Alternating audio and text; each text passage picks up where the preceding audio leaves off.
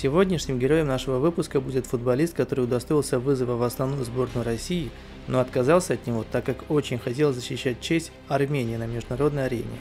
Футболист, который родился в России, учился в Испании, но любит всем сердцем Армению. А все любители футбола сравнивают его с футболистом Манчестер Сити Джеком Грилишем за схожую прическу.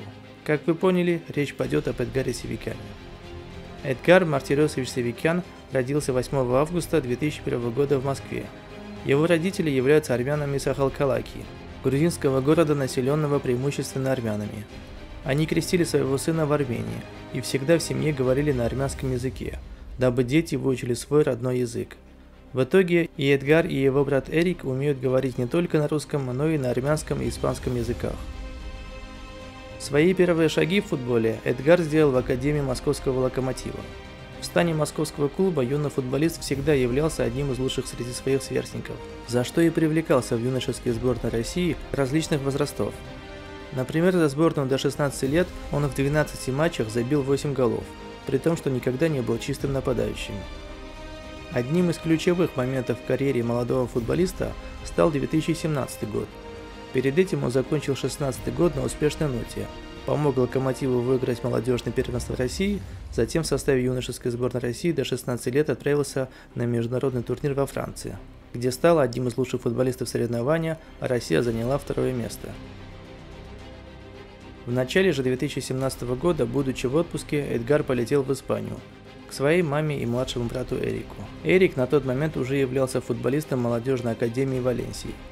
Чтобы поддерживать свою физическую форму, Эдгар решил тренироваться вместе с испанской командой. Причем у него была вполне реальная возможность официально стать футболистом Валенсии. Однако из-за проблем с документацией у него это не получилось.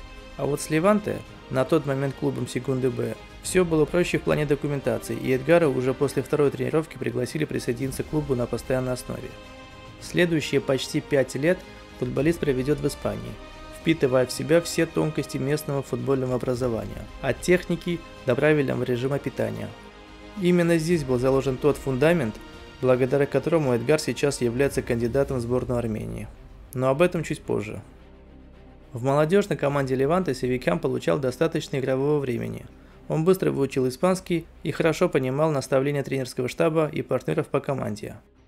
В декабре 2020 года Эдгар дебютировал в испанской Ла Лиге за основную команду Леванте, выйдя на замену на 83-й минуте в матче против Хетафи при счете 3-0 в пользу своей команды. Этот матч стал единственным для Эдгара в Ла Лиге, несмотря на то, что он регулярно привлекался к тренировкам с основной командой. Был еще один матч в Кубке Испании, где футболист не отметился результативными действиями. В июле 2022 года футболист принял решение вернуться в Россию, в клуб премьер-лиги Пари Нижний Новгород. Так начался второй важный этап в карьере армянского футболиста. Он полноценно влился во взрослый футбол и в дебютном сезоне провел 16 матчей за клуб во всех турнирах, отметившись одним голом.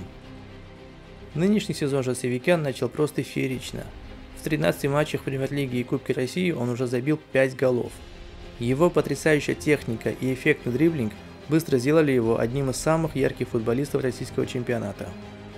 Стоит отметить, что еще до своего фееричного нынешнего сезона футболист давал интервью, где признавался, что с удовольствием примет вызов в сборную Армении, если таковой будет – к сожалению, на сентябрьские матчи против Турции и Хорватии тренерский штаб сборной Армении не смог вызвать Севикяна из-за того, что у футболиста не были готовы документы для смены спортивного гражданства.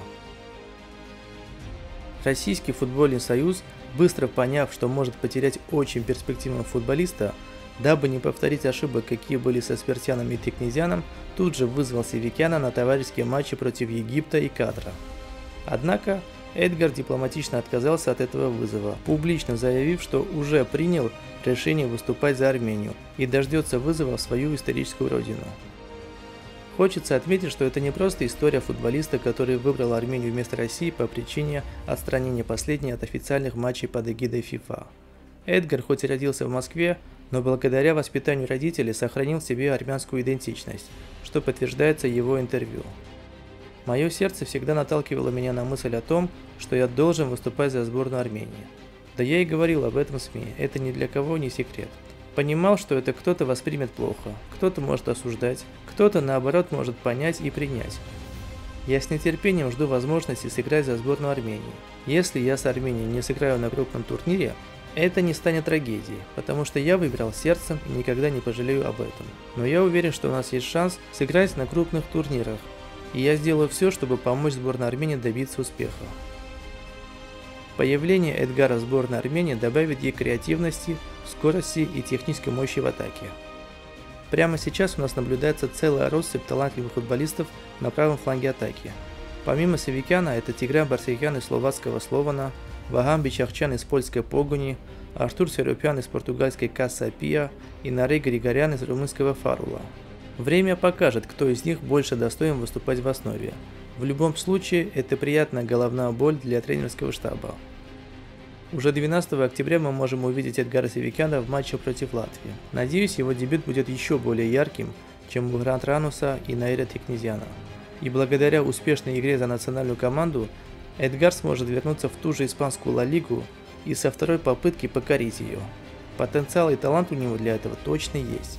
Кстати, его знание испанского может пригодиться ему и сборной Армении для лучшей коммуникации на поле с испаноязычными Лукасом Зелараяном и Норберту Баликяном. На этом я завершаю сегодняшний выпуск. Не забывайте, что ваши лайки, подписки на канал и комментарии под видео помогают данному ролику получать больший охват просмотров на YouTube, и больше людей узнают о нашем футболе и наших футболистах. Также вы можете помочь мне в моих попытках популяризировать армянский футбол – перечислив любую сумму на номер карты, указанный на экране. Сердечно благодарю каждого из вас, Сирели Гаерджан. До новых встреч!